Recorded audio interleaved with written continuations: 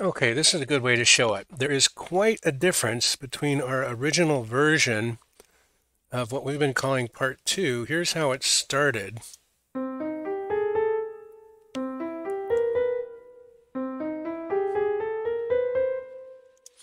And here's how it sounds with all of the percussion and bass added.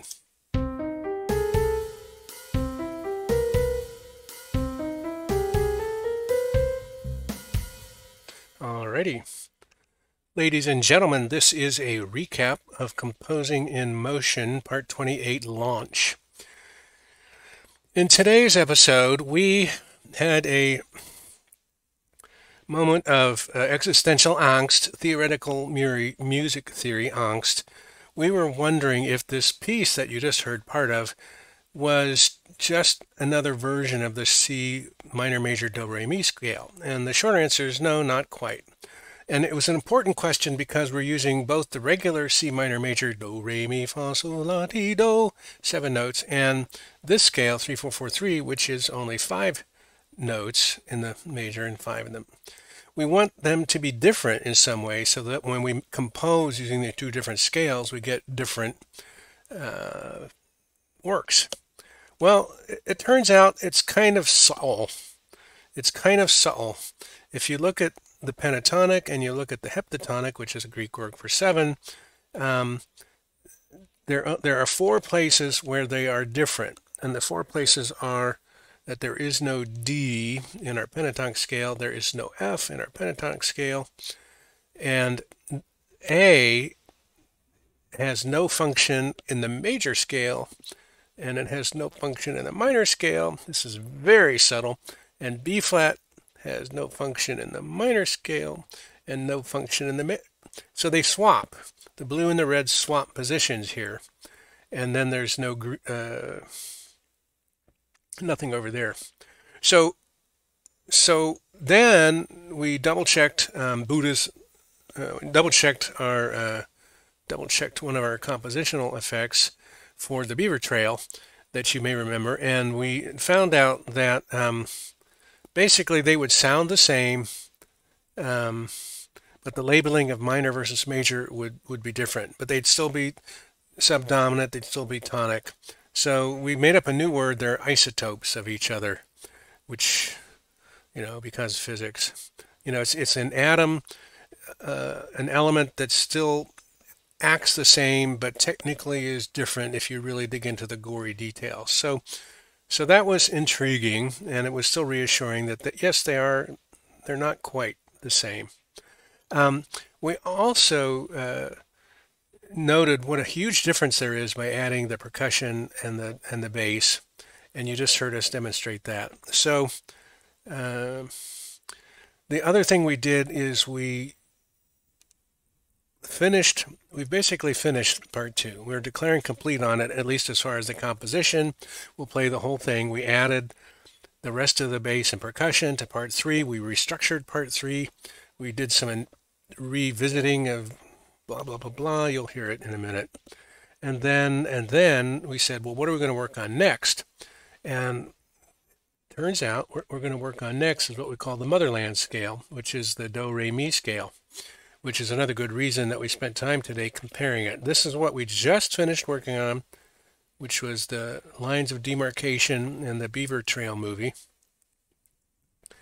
We spent a lot of time on this scale to compose Returning, and then we also spent time on this one, which is that spooky, eerie sweep synthesizer thing, which is Lines of Demarcation Part 1. So we are ready to lock and load and start working on this scale starting in our next uh, stream. So what we're going to do for you now is we are uh, we're going to play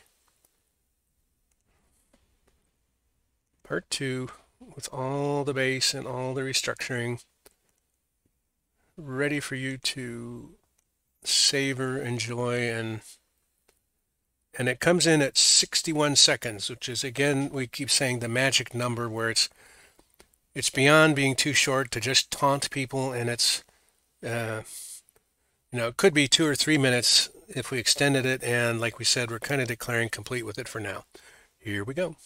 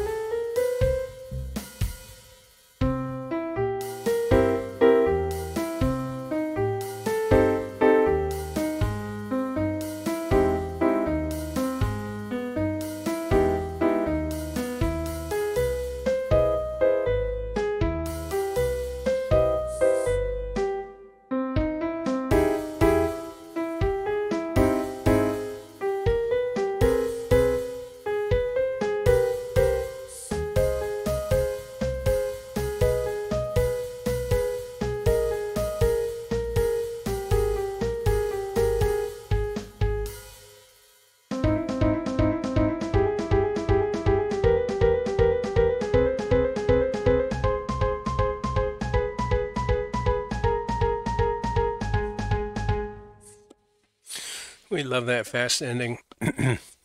and we like how part three basically mirrors part two, except at doubles, double tempo.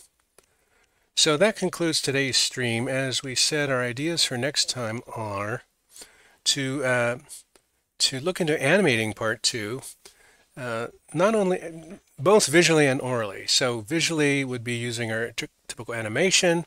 Uh, we might also look at using some 3D models to import into the animation. We did a little work with another platform today, uh, and we were able to download a Firestorm Collada file and upload a Frame VR GB file. So we got that working for us, um, and begin working with the Do Re Mi scale. Acknowledgements to Mr. Spatz, who came back, and Mohammed 222. Thank you so much. We appreciate your coming back. Tune in next time to see what happens. Do take care, do come back, and do keep on streaming.